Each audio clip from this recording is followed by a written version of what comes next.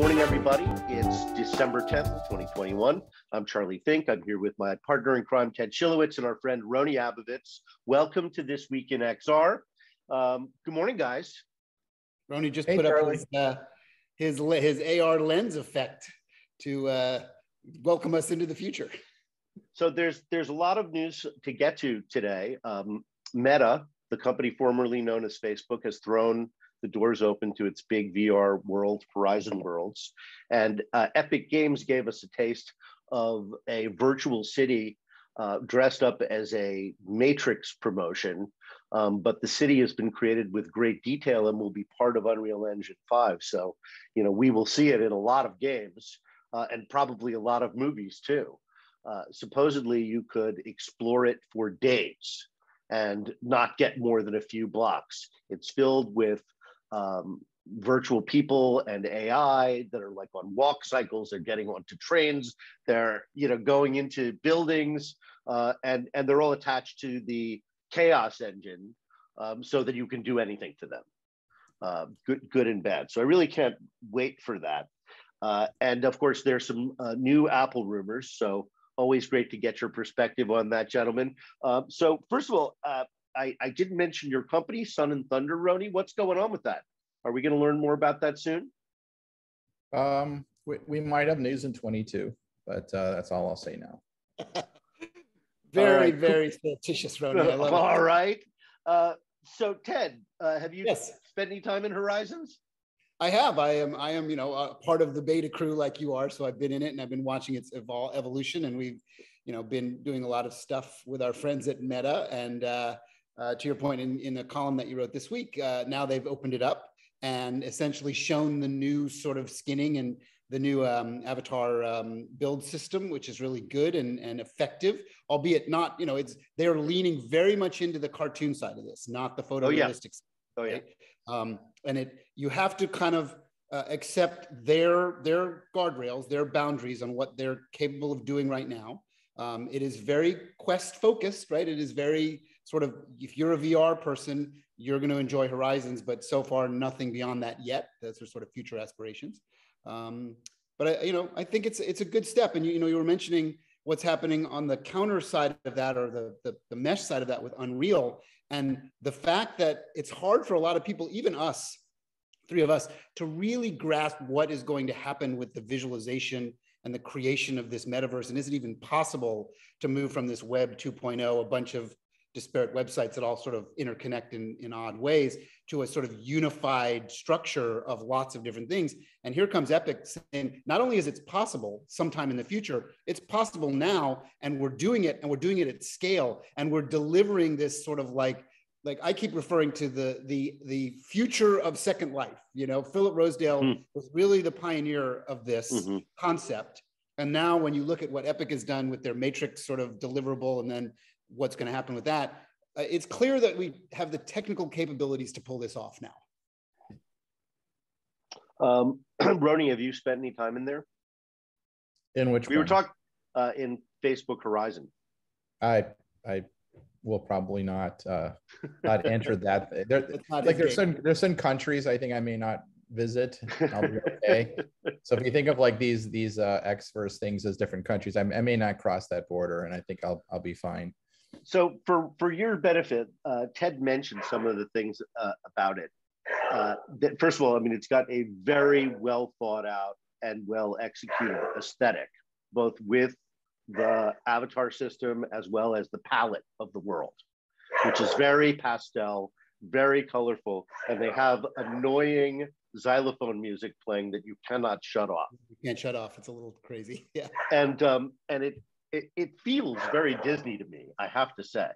Part of it is the level at which it's executed and the attention to detail. Part of it is its uniformity, right? When you go to Disney, you just accept everything and let it entertain you.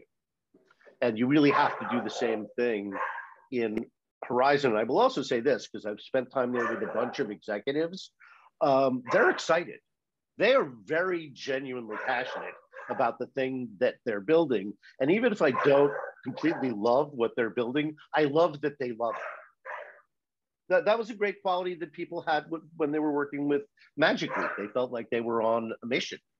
And uh, that is pal- uh, palpable when you speak with them. That is the, the number one takeaway I have is that they like spending time in Horizon.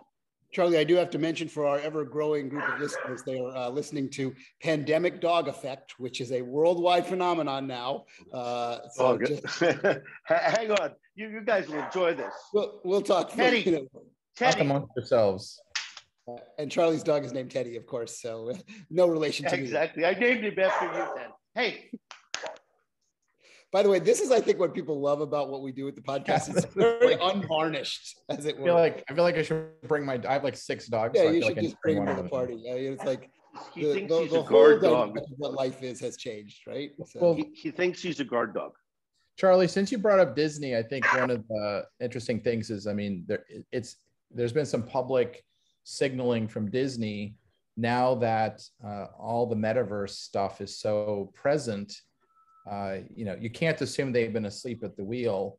So it does seem like all hands are on deck over there on something. I don't think they're going to say anything about it until it happens, but I, you have to imagine that like that that they're going to react to like you know potential competitive threats by by companies formerly known as Facebook and others to replicate what they do versus like them doing what they do uh, in, in, in the full on way. So I feel like that's going to be interesting when they unfold it. And it's going to be interesting to see like where they put it you know what they do it on. Is it unreal?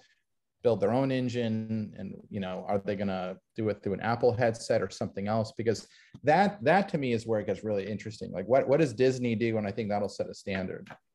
Yeah well, i think there's I, there's two sorry go ahead dan. As a charlie and i've talked about this a number of times privately and it's no reason not to talk about it publicly um, as you know, even though I work for a competitive studio, as a huge fan of Disney and, and Disney culture, Disney as an entity, um, you know, I have this belief structure that Disney's always been in the metaverse, and they've always yes. used whatever yes. the technology of the day yep. was in Walt's life and then post Walt's life um, to accomplish this goal of mixed reality, of blending the real and the fantastical in a place that was universally understood, accepted, and loved in various ways.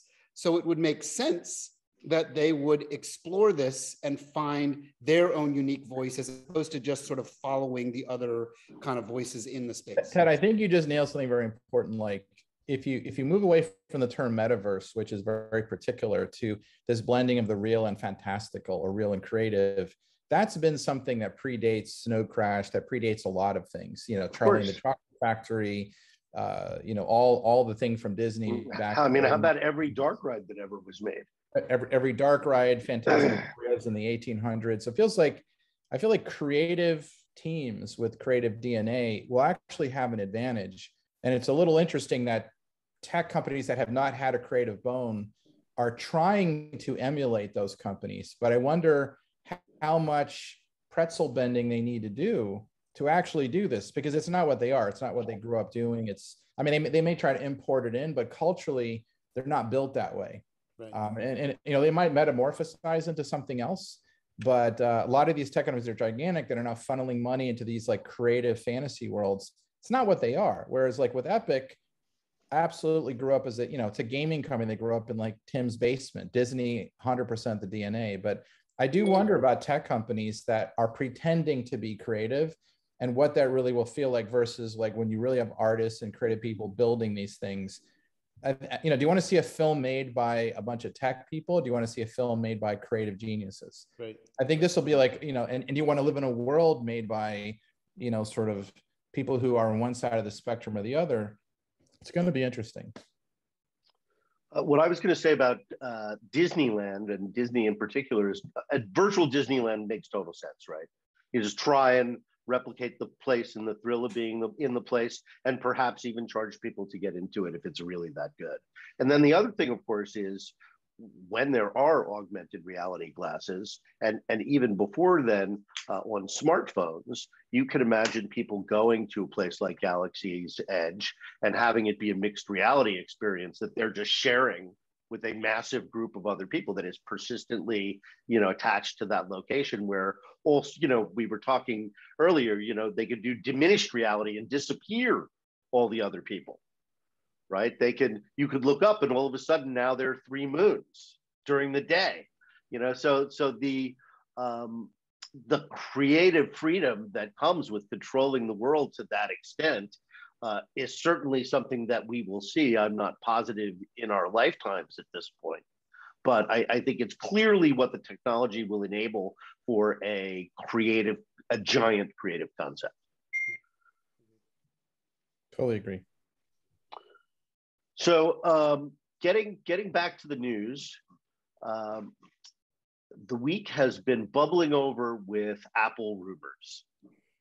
Again, uh, so now again and you know the the thing is about these rumors they start to accumulate uh, and they the drumbeat is steady enough that even though i have no firsthand information myself uh, you know you start to get a picture of of what is probably happening uh, but you have more you guys have more perspective on this. I mean 2022 really?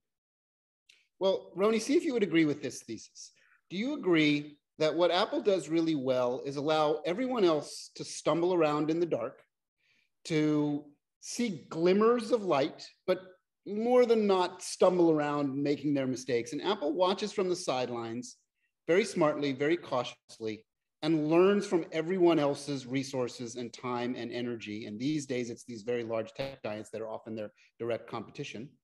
They watch and they think and they postulate and then they decide to enter the market when the stumbling phase is over. And we are still in the stumbling phase, even though we're not taking huge stumble mistakes anymore. We're taking minor stumble mistakes anymore as we commercialize VR in the beginnings of MR. Would you agree with that generally, that that's Apple's take? Yeah, I think that's what they've become. Instead of leading, I think they just follow copy, learn, but then put insanely large resource, like you know the, the largest possible engineering hardware software resource on the planet, add something to take it to a level of perfection that outpaces most players. I mean, what I what I hear is that they're in the 10 to 15 billion per year investment in this. That's just such a massive amount of money. And, and for how many years, we're not totally sure, and for how many more years. But let's say they've put 30 to 60 billion in before something launches. The issue is it better be really good. It can't be like it's a little better than the Quest. And everything I'm hearing through like the like call it the the rumor uh, dew, you know, that appears on the leaves in the morning through all sorts of uh, sources, is that they're definitely leaning at like some kind of Oculus thing, you know, some basically like a VR system that's maybe a little better, um, looks like an Apple product, and has pass through VR. So you're looking through really good Apple cameras, but you're not looking at the world directly. It'll have a nice field of view. It'll have its like fancy chip and good batteries. But you know, it's not clear that that will ship. I mean, I, I'm pretty sure they've built it, but I think one of the questions, I don't think they want to ship something that has a adverse effect on people. And what I mean by that is like, there's no doubt VR causes some people to feel nauseous, but no Apple yes. product's ever done that yeah you know like like they can't afford that you know the like yes. you wear a watch it doesn't do something to you right so i know what you have to solve to get through that and i wonder will they have will they have solved that or will they abandon an ethic in order to ship in the time frame everyone's thinking or is it just rumors? And i'll just wait and wait and wait until they totally nail it. By the way totally nailing it may cost all these tens of billions right. yeah finally absolutely. the whole population.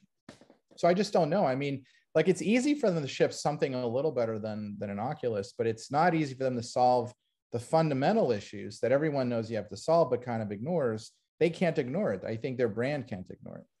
Right. Well, and you as the as as one of the absolute defined pioneers in this space knows a lot about this. Uh, knows you know what it took and the amount of criticism you got for the amount of money that was raised is kind of fascinating in the low bill. Considering it's just a fraction of what was really required. It's what the guys we're talking about are spending probably every every quarter right now. Every quarter, right, right, right, right, right. Which is which is mind-boggling, right? Like to th- yeah. Yeah, and what sure, you, Charlie, I think they will ship something good. I mean, that's at the end of the day, I think they have a reputation for shipping something good, and I'm actually excited to see, like in the VR space, I think they're actually going to wait a long time until like this, like what I have and you have. I think they're yeah. going to wait, wait, wait. Maybe that's like mid decade or later. Mm-hmm. But I feel like they want to get on the VR train and VR yeah. with like, you know, pseudo AR with pass through because they, they just can't let, you know, the former Facebook run away with that. I think they feel that's strategically dangerous. It's going to be interesting though, because then it'll be Apple fighting them. And then it's going to be a, that, that could be a fight to the death. That could be really interesting what happens there. Yeah. Yeah. Uh, well, there's no question that that having two big companies in this space is going to, um, you know, create uh, a lot of more choice than we have today. Uh, I, I, also think I'm very excited about. Uh, it's not contained in the current rumors, but in previous rumors, there was this notion that that it would have retina scanning technology and adjust the lenses perfectly to your prescription, uh, and it would know the context. So not only does it know that I'm half blind, but it knows when it's dark and it needs to adjust. It knows when I'm standing in the sunlight. And, you know, unlike photosensitive lenses, which are dumb, you know, these lenses would, would be smart because they'd know uh, what I was looking at and, um, you know, how they needed to optimize that. So that, you know, that to me is an argument for an all day, every day. They probably uh, won't be product. the first. I can yeah. almost guarantee you they're not the first to ship what you just described. Right. I agree. And also, what I just described is probably incredibly hard. Yeah, and there's also, um, you know, some speculation that I've been reading about the concept of a Mac on your face, right? So they may not necessarily be focusing down the gaming portal because Apple has traditionally not really succeeded in that realm, and they've tried a number of ways, and it's not really their DNA. It's not really their strength, right? Um, but the Mac is, you know, in all of its forms and all of its functionality and what it does is, of course, a massive success in, you know, worldwide domination and of, of all the form factors of various size screens that we have in our lives, the small, medium, um, the, the, the large, medium, small, and tiny, right? From the desktop to the laptop to the tablet to the phone to the watch. Um, so the idea of, of and there's been you know some like interesting almost public comments from tim cook and others about the end of the smartphone that the that the days of the smartphone as a, a candy bar sort of you know holdable device are numbered and they are now working on wearing all the things that we used to hold or set up on a desk or set up on a pedestal somewhere and that is a very interesting postulation something to think about across this 10 year journey not just the next 18 right. months Ted, what do you think about price point and Charlie? Like, because they're they clearly don't come in at the low end; they come in at the thousands of dollars probably. And how do you think it's, that's what It's it's a first adopter device. All these devices are first adopter devices. I don't think uh, Apple, as you said, I think it, it probably will be a very very high quality headset, and they'll charge accordingly. I would not be surprised if it was fifteen hundred dollars, and I and I don't think the first people to buy them will care. Yeah, maybe, I think it might more. actually be maybe more than that for the first one, um, because they're actually looking to find the seating, the, the plant of who's going to use it and what kind of definition it will have in the marketplace. And then by a second or third gen product, uh, it will still be a like kind of a luxury price product compared to the segment. But again, that's like you don't have to stretch too far to know that that's again within Apple's story. Apple likes to build things with extraordinarily refined engineering and target it to a customer that is willing to pay for that.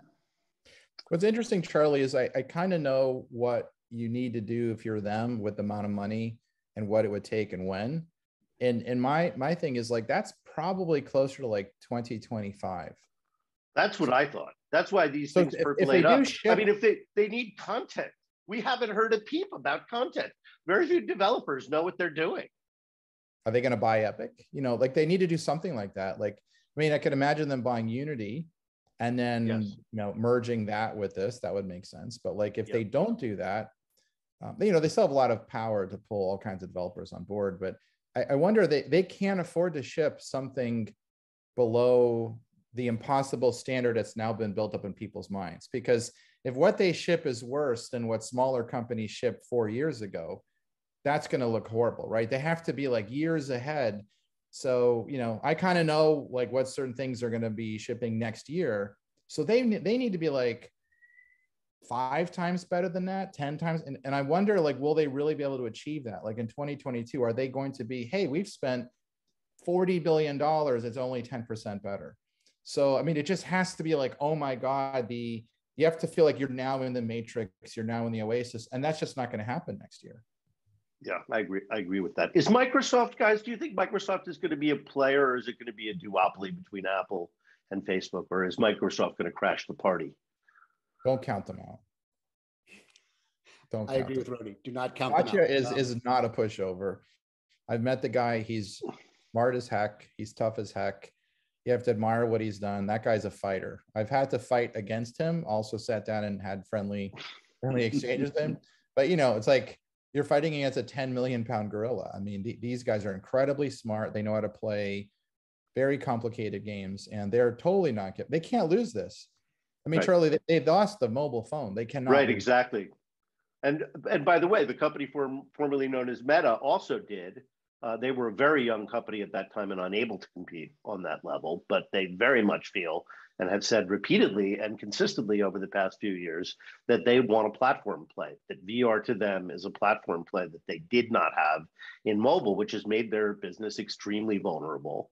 And, and we see today some of the results of that, where Apple can affect their bottom line basically at a whim. So, um, you know, I think that's that's a lot of what's motivating them. So we're looking at not at a duopoly though, but at, at a richer field with more players, including Microsoft and perhaps others. That's right. Charlie, I had a I had an interesting thing that I don't, I don't see many people have talked about at all, but like the internet was really evolved from like government subsidy and yes, therefore had some level of openness and companies built on it. But what people are calling, what I like to call Xverse, what others are calling metaverse, um, is not being built that way. And do you guys think there should be something happening? Like, should the US government and the West be forming like a W3C something? I know there's little bits going on. I've been talking so about this a lot. I've been talking about this a lot. If the most valuable asset in the metaverse is your identity and your backpack or your purse, so to speak, um, I don't know that how anyone would want a company to control that. You know, one of my problems with with Meta is that they're working on a meta layer, an API that would allow uh, for better teleportation, you know, their version, VR's version of hyperlinks, and uh, also might provide a unified avatar system uh, as well as a unified payment system. Uh, the problem is uh, who's going to use their API and, and hand to them essentially the most powerful asset in the metaverse. It seems like unlike search, you know, which all ended up in Google's hands. This is going to be highly diffused for quite some time. I also think the issue with there being one metaverse is that, you know, three quarters of the world is not using the internet that we see. So you have to o- overcome real physical borders, uh, not just uh, virtual ones. Charlie, do you yeah. see like the Web 3.0 work, like the decentralized uh, technologies like Dfinity and others, like which are an actual total opposition to like the metas and centrally controlled metaverses. Do you feel like that has a shot? There's something clearly going on that is very big with crypto and NFTs. I'm not sure I completely understand it, to be honest. I'm kind of sitting on the sidelines reading everything I can, um, but it is very complicated and there's a lot going on um, and a lot of different currencies being created for a lot of different purposes. So I don't think this is mature yet, uh, and I think it's very hard to understand. Uh, those are kind of going to be obstacles to it. It also has a whiff of tulip mania to it. So there could be a lot of people with thousand dollar tulips when all of this is over that have no particular value other than looking pretty for a few weeks in your backyard every year. So um, I, I just think it's, a very early too. time. I, and I also think, you know, this urge to label things is always kind of hilarious. Um, you know, all of a sudden we're calling Web 2.0 Web 3.0 because of NFTs. You know, I mean, to me, Web 3.0 is that wearable, ubiquitous, persistent uh, extension of the internet, as we've been saying, the next generation of the internet, extended into the real world uh, you know, and meshing or merging uh, it along the edges in ways that are both uh, obvious and apparent and others invisible. but that's certainly that to me is Web 3.0, not the introduction of NFTs and decentralization, which has always been, as you pointed out a few minutes ago, a core concept of the internet. So I don't think we yet have a core concept of the metaverse. I, we have many metaverses. Maybe they'll be connected. Some may connect with others, some not. Uh, but that is going to take a long time to play out. You know, I don't think that that you're going to see Apple or or Microsoft agree to use anything made by Meta with their systems. So here's a, here's an interesting question for the both of you because you're you're talking about this and what I'm thinking about. You pose to all our listeners, to the people out there in the world that are touching this and thinking about this. Do we believe, even as part of our brain, that there will be a successful, let's call it the Linux of the metaverse, right? Um, mm. So this is kind of one of these Jekyll and Hyde problems that, that you and I talk about all the time, Charlie, right? We have commercial aspirations from multiple companies with a layer of the ethics and goal of transportability and interoperability, right? But to your point, because the World Wide Web, ARPANET, and all the things that, that allowed us to get there was an open sort of framework built largely by government institutions, military, and universities. Um, it had a different ethical core, right? And then people mm. layered on top of it with commercial logic. Um, but now we're starting with multiple companies with commercial aspirations first, profit aspirations first, growth aspirations first, and stockholder responsibility first, as opposed to the what an ARPANET was that developed. Right. I think so, I think that states it really well, and it gets back to what Rony just said. Uh, we need sort of the ICANN of spatial computing so that identity can be held um, in you know a neutral, secure place that has no profit interest. Mm-hmm. And I, I, think that's really what we need. I can't envision how it would come about because it would require the cooperation of everyone. Uh, so you know, I don't know if we live in that world anymore of the you know late '80s, early '90s, where people would go along with that to make something happen. Um, you know, as you said today, it's commercial interest negotiating with one another, not a bunch of scientists and researchers agreeing to do something when, you know, there were maybe 10,000 people in the world doing it. You know, so easy to get a consensus among, you know, uh, a group like that, which is homogeneous rather than, you know, bringing in the other 9 billion people. One of the, what, uh, Charlie and Ted, I, I think my, my response to you guys is a little more Joseph Campbell I, I hmm. think if you strip away the tech, what we're looking at are warlords without naming mm. them. Warlords yes. who want to own massive lands and kingdoms and castles in ways you could not imagine until they get to go to Mars and like become emperors of planets. And I've literally heard the kind of people you're talking about who are worth 100, 200 billion dollars talk about becoming emperors of Mars. I've heard crazy things like that directly from their mouths. So like things you just can't believe that these people actually think. So I feel I feel like this world we're we're rushing into has these warlords. It has like shamans. It has commoners. Mm-hmm. Most people will be serfs working the land for the warlords in ways they don't even understand. But you'll be like, come to my land and here's an acre, and now suddenly you're paying homage to the warlord. And I think there's artisans and prophets and evil wizards and all kinds of stuff. But I feel like those mythical things will actually embody in in much more fantastical ways in ways that you can't in the physical world because this is like a giant digital game world run by kids who are now warlords who have money like they're at the leaderboard of having hundreds of billions of dollars but they still have the mind of an 11 year old i think most people don't understand one part of their mind is like an 11 year old kid with with with the atari like literally if you spend enough time with these people you guys have you, you know what i'm talking about the other parts like genius level math computer science. But one side is 11 year old kid who wants to play with their GI Joes and win all the toys and, and, and have the number one score in the video game. And that's how they're ruling the world right now. They, they're, they're turning the world into one gigantic video game. Mm-hmm. And the financing, like all the people on the outside, mm-hmm. the investors have no idea what's going on. It's just like money, throw it at this buzzword. It's pretty nuts. But I, I feel like if you put a mythical layer, like the Joseph Campbell layer, it actually makes a lot more sense what's happening you have the primal instinct of people wanting to be emperors and warlords trying to control as much of these endless real estate, endless lands that they can build and charge you when you work for them on their on their lands and farms, just like medieval times. And then you have a few people who are saying no to that, like let's fight the kings and emperors and have democracy. And those people are constantly under threat and attack.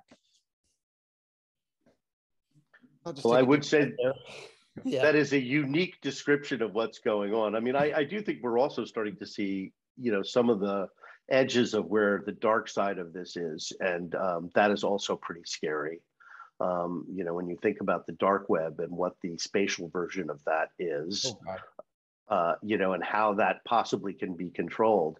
And this is another thing that Meta's doing that I, you know, really sort of caused a shift in my thinking. You know, they're bringing Grand Theft Auto to uh, the Oculus Quest, and I think there's something deeply distressing. Look, I'm not saying it should be censored or that they shouldn't do it, but I'm not sure you bring that game into the Quest and then claim you're doing good in the world. Charlie, that was my example when I was talking to investors uh, early days of Magic Leap of what I would not do. I literally said, I use GTA as the example of so realistic, so scary, so psychologically traumatizing to a young mind. Never do that. That was literally like, if, if yeah. you don't, oh, you're so right. Okay, don't invest in us. I know I'd say like the line has to be there.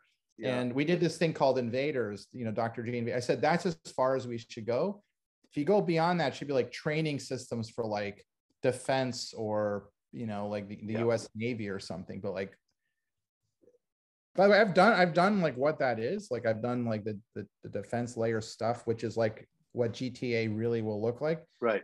You can't you cannot claim that you have no responsibility if you unleash that at this level of, of realism. I, I it's so just agree. like it's terrifying. I don't know what it's terrifying. And I don't know how it can be controlled because people will just go opt into these private places and and they could be doing things I wouldn't even mention in a podcast.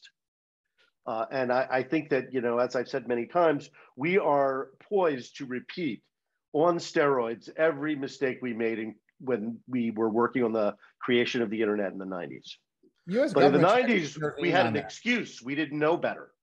No, no, the U.S. government should intervene. Like, like literally, you can't make the argument that this is not uh, changing someone's brain to the point where, where you are teaching them to be psychotic and doing like you know things that we just don't want our citizens to do like it is not a game anymore at that level it's so intense right. so disturbing exactly it's not stuff and so when mark says in his you know movie come keynote that gta 5 is one of his favorite games I thought, holy crow, we are in big trouble here because the one guy who is in charge of this thinks it's great.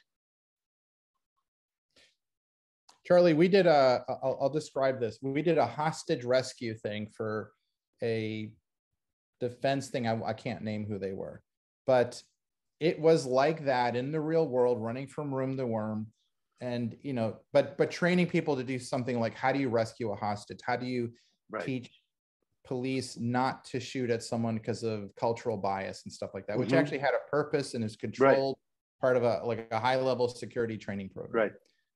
Giving that level of realism, and I had like flashbacks of like I felt like I was in something for days and weeks. You could not separate the memory of that from not being real. It was so real. And yeah. now you're gonna have kids running around like by the way, Call of Duty world. it's not just one brand. I mean, you really have to have an intersection. Like the government does need to play a role and say we have to kind of say what's what's not okay. Otherwise, we're going to breed an entire population who whose brain has been rewired in some very disturbing ways. So, do you think this? It, obviously, this is a very very interesting topic of discussion. Uh, and when you talk about forms of entertainment and violence as a area of discussion, it, it, it warrants a lot of high-minded multiple tiers of discussions because you know while you guys are talking about gta showing up in the quest what i'm thinking about is the culture and the phenomenon of fortnite which while it has this kind of cartoonish layer it's a very violent game um, that is marketed and targeted toward children right mm-hmm. and kids play it for hours and hours and hours a day um, and start to feel the reality of that right um, where Minecraft feels a little safer and smarter, but Minecraft even had to kind of fold some of its cards and say there's sort of a violent combat part of, my, of Minecraft, right? Um, and then you start to get into the other forms of what we largely refer to as traditional media and how our culture in the West is so obsessed with guns and violence in media, right? And we accept yes. that way more than sexual content in media. Yes. That you would argue that that doesn't even really make sense from a cultural standpoint that we're so okay with massive weaponry in cinema, right? As entertainment. And can we really draw a line between video game entertainment that largely sort of takes the tenets of that, puts them up on traditional screens, and another line that says now once we put them in immersive environments, do we have to create a different ethical code and a different um, logic? And it, again, this is one of these very complicated, yeah. nuanced problems to solve because there is no one right answer and you know many people that i mean obviously statistically many people that play uh, violent video games do not go and do real violence right? Um, and that's sort of the argument on but those but those video, video games are fantasy games. You're killing orcs and dragons. You're not killing other people. Right.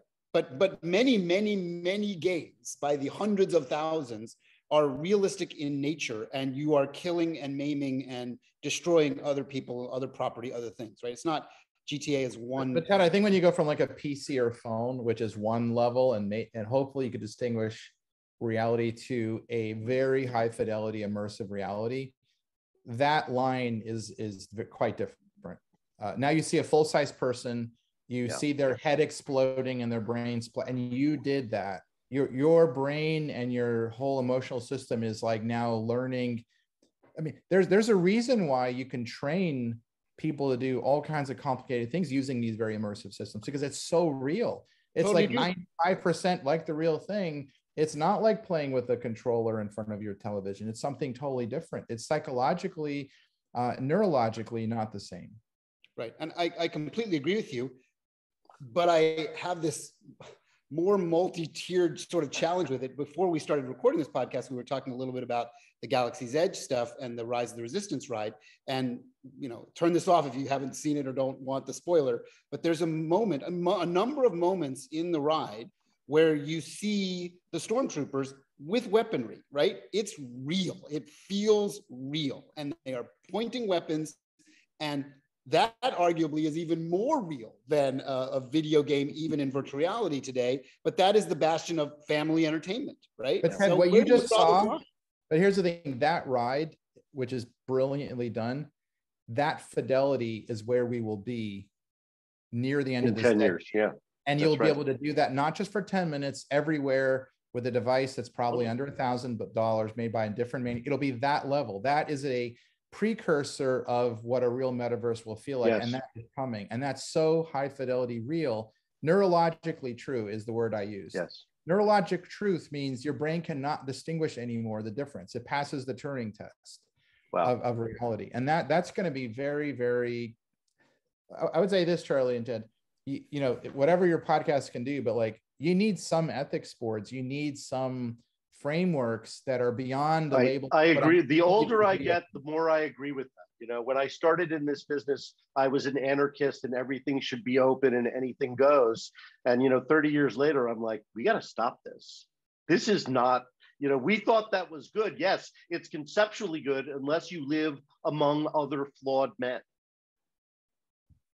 Look, look, it's a very powerful tool to help shape society in a good way or help create like a clockwork orange yes. you know tribes of droogs running around with, with who have no morality who just feel like they should just kill and and take everything. So i feel like that split that decision point we have this decade to solve it.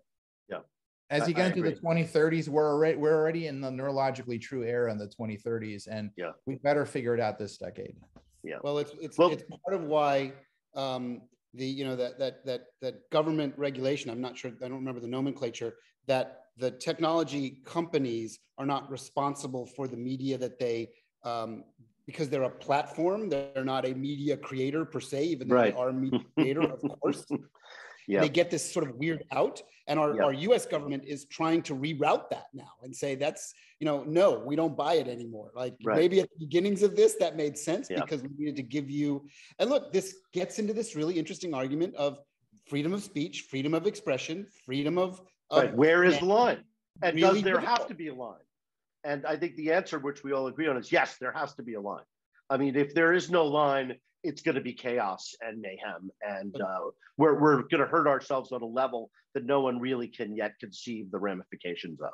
So but the um, complexities um, are who who defines that line? Who I know, I know. Who do we give the power? And usually, and usually we punt on something this hard. Yes. Well, but, I would say that we have seen those features, like writers, like yeah. you know, Anthony Burgess, comic writers. They have they have yeah. shown us what happens if you cross that line too far. Like, yep. you know, the world of Watchmen, the world of Clockwork Orange. Like, we've seen what our future looks like if we have no breaks, if we don't have like a protection of minority and protection of ethics. And, you know, you freedom of speech doesn't mean freedom to manipulate large populations and control them. That's right. something completely different. Yes. Right.